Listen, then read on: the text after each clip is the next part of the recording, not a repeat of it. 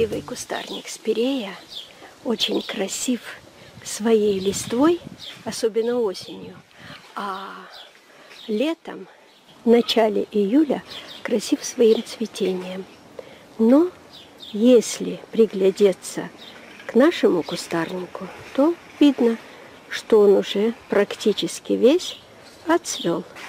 И чтобы придать ему более приглядный вид, я просто убираю все соцветия. Но надо внимательно приглядеться, как же все-таки их убирать.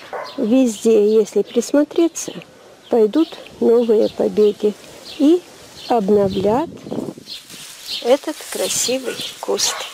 Но чтобы придать ему большую привлекательность и как можно быстрее, я сделала немножко коррекции перед тем, как сделала бы это природа. Подстриженная спирея дала хорошие росточки, и вы видите, что начинает цвести. Не так обильно, как цвела, не видны места среза, удаления отцвевших соцветий. Это выглядит вот так, и очень красиво оно смотрелось бы на зеленой лужайке. Можно делать обрезку, как делаю я, а можно заглянуть на фильмы других любителей сада-огорода. Вот, например, давайте заглянем к Елене Рыжовой. Добрый день, дорогие друзья! А сегодня на канале «В садочке кустики-цветочки» выход в поля.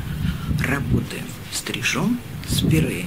Они уже отцвели, и пора вернуть им шаровидную форму.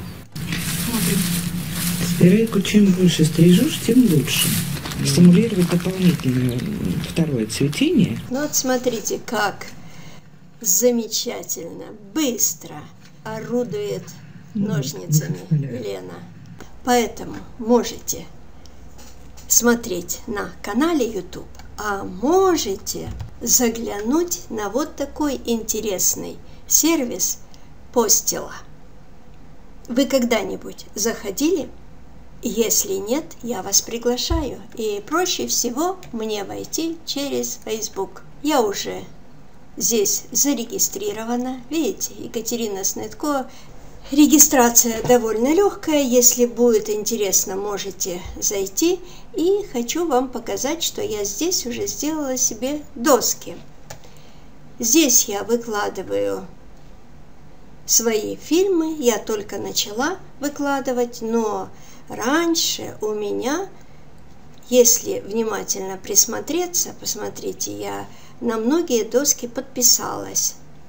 То есть то, что мне интересно. И вот, допустим, давайте зайдем на доску «Дача и огород» пользователя Ирины Уваровой. Здесь можно ознакомиться с теми моментами, которые вас волнуют. Я вот прочитала хосты, и если хотите оставить эту заметку себе, то проще простого нажимаете «Пост» и он у вас закрепляется. Можете этот пост назвать, допустим, полезные советы по саду, огороду. И в любой момент, когда вам нужно будет, вы найдете. Давайте посмотрим мои посты. Здесь я рассказываю о том, что я даю в моих фильмах. Для чего это нужно? Это просто интересно не копаться, не искать, а зашли, ага, мне это, это, это интересно, быстро сделала посты и пользуйтесь в нужную минуту.